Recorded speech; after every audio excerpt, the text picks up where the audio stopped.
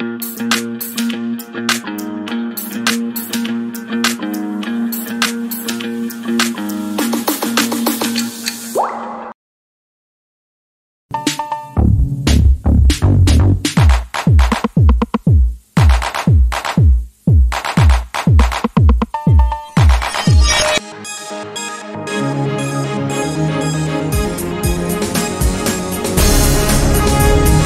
President Museveni is cooking up something terrible, and uh, the opposition leaders have been called upon to get ready for what is coming up anytime.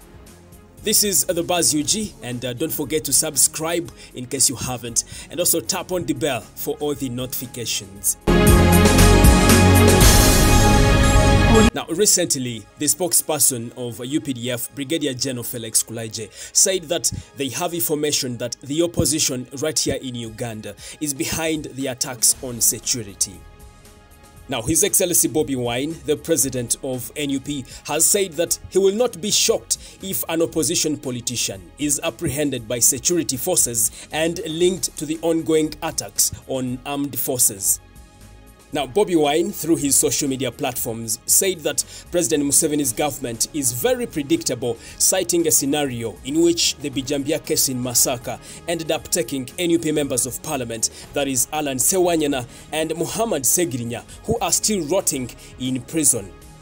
Now, Bobi Wine has also called upon the opposition comrades to stay alert, otherwise, President Museveni and cronies in his government are cooking up something, and anytime it could catch up with anyone on their side. Well, that is the information coming in from His Excellency Bobi Wine's camp. And uh, if you're from the opposition, I hope that you had that information right. Don't forget to subscribe in case you haven't, and also tap on the bell for all the notifications. My name is Melads Milo, aka Fuller, and it's a bye for now. Thank you. Audio Jungle.